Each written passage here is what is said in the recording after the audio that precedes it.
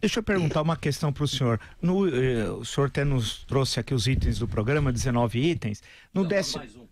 Ah, é, sim, sim, é, perfeito. É justamente porque são 20. A revisão constitucional é, mas, que refundar a República. Exatamente. Talvez até a meta síntese, a meta mais importante. Perfeito. Então, na 16, é. o senhor fala em medida, a chapa do senhor medidas anticorrupção. O senhor teve no BNDES. O BNDES foi é, isso usado pelo PT como instrumento de corrupção, no maior desvio de recursos públicos da história da humanidade. Não há nada hum. igual ao petrolão. Palavra proibida na campanha hum. eleitoral.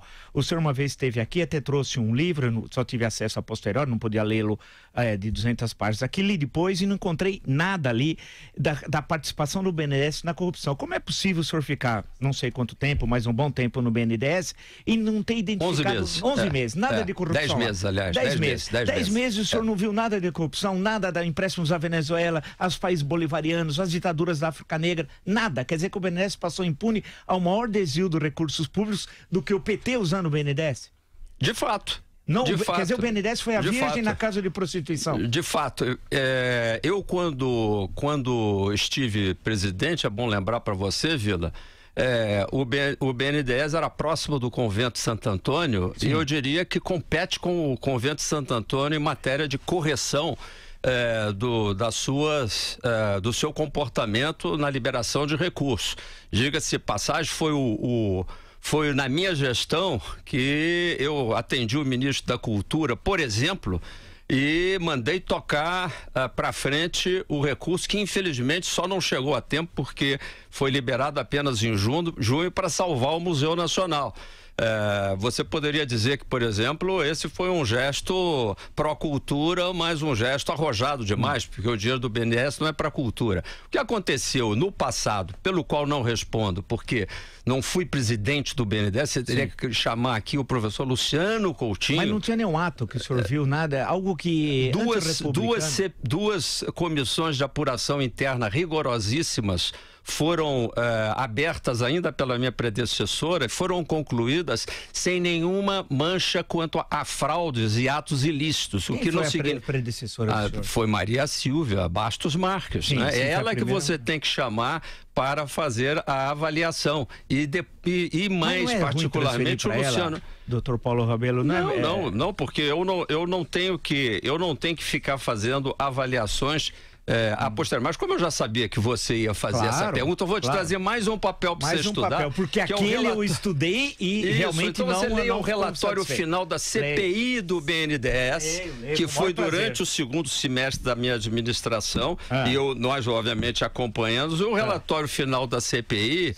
é, nada conseguiu apurar, apesar de nós termos escancarado é, todas as informações para os assessores dos senhores senadores, Sim. etc. E tal tal. É um trabalho também de, de um grupo de parlamentares. As CPIs nem todas acabam em pizza. Eu gostaria de Sim. aproveitar o meu tempo aqui para falar do, claro. do, do, do então, Brasil Jato... que nós precisamos então, de Lava... fato. Tá. É, mas eu vou perguntar, é, claro, para o senhor. Mas... Fazer claro, emergir do estado de estagnação, do estado de recessão Sim. em que ele se encontra e para o qual aparentemente nenhuma das legendas está apresentando é, nenhum caminho para esses indecisos brasileiros que não sabem a, é, em quem votar. Então, né? uma última questão sobre essa, claro, bem por breve, favor. porque isso é muito importante. Lembrar que eu estou recebendo agora, eu não posso lê-lo. Estou ah, à sua disposição para retornar aqui, porque sei que é uma. É uma... Claro. Quem sabe nós dois não podemos escrever um livro juntos sobre esse assunto. Podemos. É um desafio que não, eu te não, faço. É um desafio. Vamos, te aceito. É? Agora aceito, Você é um intelectual, claro. eu sou ah, também, e eu... acho que a verdade tem. A, a, diz a Bíblia, ela... a verdade vos libertará. eu acho que poucas frases são tão é. importantes quanto essa frase da, todo da mundo, Bíblia a Lava. Jato, todo é. Mundo mostrando a participação de Luciano Coutinho, não sei se é, não tenho todos os dados para isso. É, bom verificar, porque. É, a, quer dizer o, que o BNDES passou ao largo, não tem corrupção no BNDES. A reputação de pessoas pode ser in, é, manchada para sempre é, quando a gente levanta é, hum. a, a leivosias então, ilações. então não houve corrupção. Lula, Dilma Nós não, não, ah, não, Lula e Dilma não são funcionários do BNDES. Não, não, é não usaram, não usaram o BNDES. É óbvio, a delação é muito clara. É, houve houve até abertura de conta bancária, segundo os delatores, Sim. para as figuras máximas do PT é, lá fora. E que isso tem que ser apurado, ir a fundo. Aliás, por causa disso é que o nosso candidato é o candidato que, inclusive, é, imagina poder chamar o, o, o, juiz Sérgio Moro para compor o Ministério da Justiça. Tamanha a importância que essa apuração rigorosa precisa ter, até para que a gente vire a página e comece a trabalhar para que o Brasil realmente é, ressurja dessa situação de conflito em que ele se encontra.